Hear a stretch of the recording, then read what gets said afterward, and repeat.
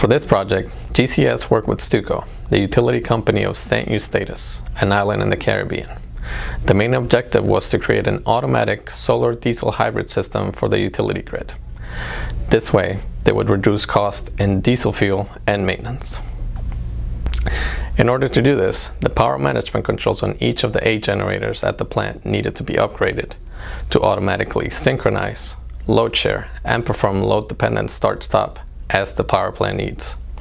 On top of that, they would also need to be able to interface with the solar power management controls. GCS installed and commissioned 8 Woodward EasyGens for each of the units available at the power plant.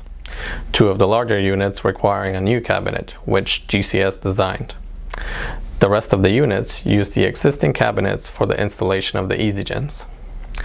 For the interface with the solar power management controls, CAN protocol was used to tell each EasyGen how much reserve power is required at any given time, with the idea being that the solar power would be used during the day for peak shaving hours, and the generators would be used mainly during the evening and nighttime.